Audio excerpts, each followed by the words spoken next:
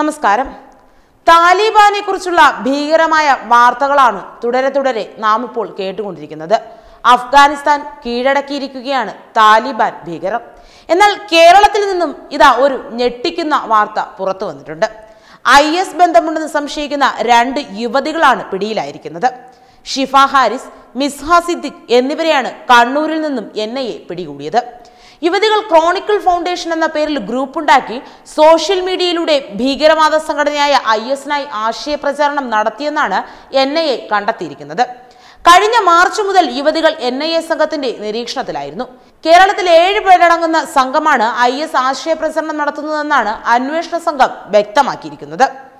അതേസമയം ആറു മാസത്തിലധികം നീണ്ട അന്വേഷണത്തിലൊടുവിലാണ് യുവതികളെ തന്ത്രപരമായി എൻ ഐ എ പിടികൂടിയത്. എന്നാൽ ഇവരുടെ കൂട്ടാളി മുസാദ് അൻവർ നേരത്തെ തന്നെ അറസ്റ്റിലായിരുന്നു. സംഘത്തിലുള്ള മറ്റൊരാൾ അമീർ അബ്ദുൾ റഹ്മാനെ മംഗലാപുരത്ത് നിന്ന് ഓഗസ്റ്റ് നാലിന് അറസ്റ്റ് ചെയ്തിരുന്നു. ഇയാളിൽ നിന്ന് ലഭിച്ച സൂചനകളുടെ അടിസ്ഥാനത്തിലാണ് യുവതികളെ അറസ്റ്റ് ചെയ്തത്. അതേസമയം ഭീകര സംഘടനയായ ഇസ്ലാമിക് സ്റ്റേറ്റുമായി ബന്ധമുണ്ടെന്ന ആരോപണത്തിന്റെ പേരിൽ കഴിഞ്ഞ മാസം ബാംഗ്ലൂരുവിൽ യുവതിയെ എൻ ഐ എ കസ്റ്റഡിയിലെടുത്തിരുന്നു. ഉള്ളാളിലെ കോൺഗ്രസിന്റെ മുൻ M L A B M ഇദ്നബിയുടെ പേരക്കുട്ടിയുടെ ഭാര്യയാണ് എൻ ഐ എ കസ്റ്റഡിയിലെടുത്തത്. കേരളത്തിൽ നിന്നടക്കം യുവാക്കളെ ഐ എസിലേക്ക് റിക്രൂട്ട് ചെയ്യാൻ പദ്ധതിയിട്ട കേസിൽ ഇദ്നബിയുടെ മറ്റൊരു പേരക്കുട്ടി അമീർ അബ്ദുൾ റഹ്മാനെ അടക്കം നാലുപേരെ എൻ ഐ എ നേരത്തെ അറസ്റ്റ് ചെയ്തിരുന്നു. ബി എം ഇദ്നബിയുടെ മകൻ ബി എം ബാഷയുടെ മകനാണ് അമർ.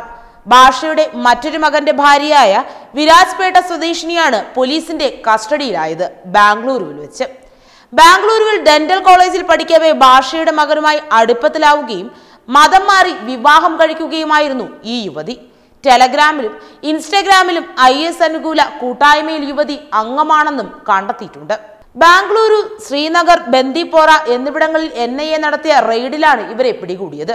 ഉള്ളാളിലെ കോൺഗ്രസ് മുൻ M L A B M ഇദ്നബിയുടെ മകൻ ബി എം ബാഷയുടെ വീട്ടിൽ എൻ ഐ എ നടത്തിയ റെയ്ഡിലാണ് ഐ എസ് ആശയം പ്രചരിപ്പിച്ചതായി കണ്ടെത്തിയതും പിടിയിലാകുന്നതും. അമർ അബ്ദുൾ റഹ്മാനാണ് ഇവിടെ നിന്നും പിടിയിലായത്.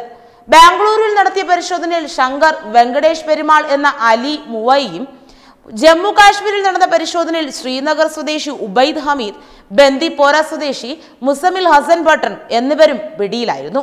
ഇത്തരത്തിൽ നിരവധി പേരാണ് ഭീകര പ്രവർത്തനങ്ങളുമായി ബന്ധപ്പെട്ട് രാജ്യത്തിന്റെ വിവിധ ഭാഗങ്ങളിൽ നിന്നും പിടിയിലായിരിക്കുന്നത്.